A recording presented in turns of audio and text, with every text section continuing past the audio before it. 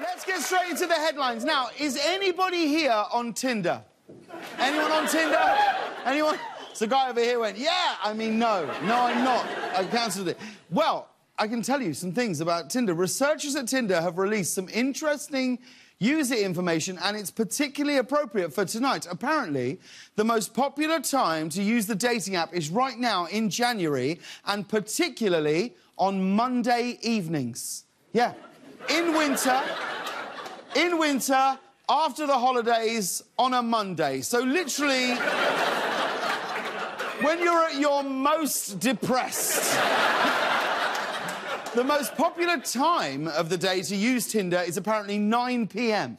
And by the way, the most popular time to completely give up on love forever is 9.02 p.m. but it's true, January is the most popular month for Tinder. So this is good news if your New Year's resolution is to get ghosted by a guy named Xander who's rock climbing in every photo.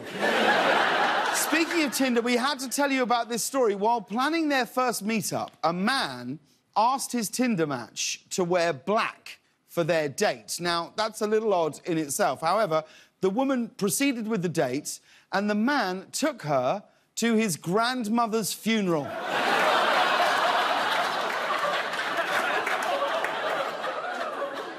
She felt like it was too late to leave. She sat through the entire service.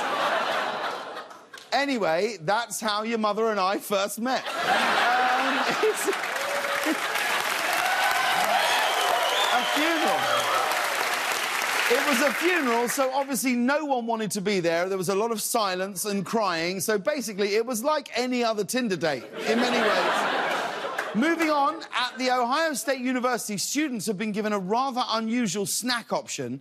I don't know if you saw this. A vending machine has been installed on campus that dispenses bacon. Yeah. yeah. This is it.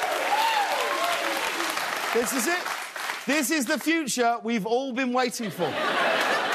Now, the machine will be maintained by the university's meat science program, right? Which I didn't know existed, but sounds amazing. Can you imagine me like, I gotta run, I've got an exam in my advanced pepperoni class. and then I gotta be at the Lunchables lab by two, so I really can't. Now, here's my favourite part of that vending machine. Look at this here. Look what it says on the side.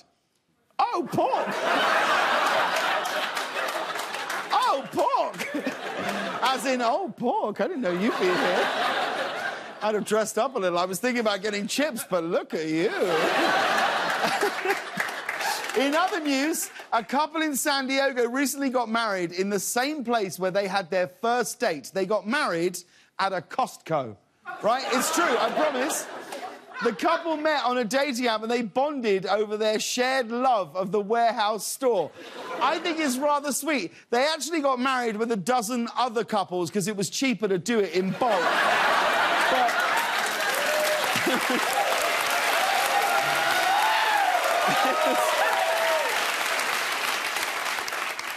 It was a beautiful ceremony, though. It really was. The bride's father walked her down the aisle, aisle 32, to be exact. but the same thing, this is the same thing always happens when you go to Costco. You go in to just buy some paper towels. Next thing you know, you leave with three roasted chickens, a big screen TV, and a lifelong commitment. It's perfect. And finally, a man in England recently discovered that a jar he picked up in a flea market for $5 and had been using in his bathroom to store his toothbrush and toothpaste is actually an artifact from India that's more than 4,000 years old. Yeah. I didn't even know they used toothbrushes back then. It's incredible. But this, this is great. Surprises in the bathroom almost never end up being a good thing. They don't. The guy had an ancient artifact as his toothbrush holder. You think that was weird? Wait until you see what he was using as his towel rack.